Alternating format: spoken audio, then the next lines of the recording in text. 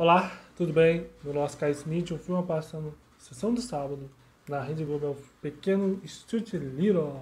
Pequeno Stuart Little é um filme de 1999, é um filme de comédia e aventura.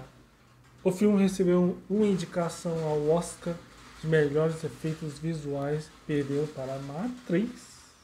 Os pais do pequeno George, filho único, resolvem adotar uma criança e acabam encontrando divertido a tio Stuart que vai virar a vida da família de cabeça para baixo e com ele viver uma bela amizade.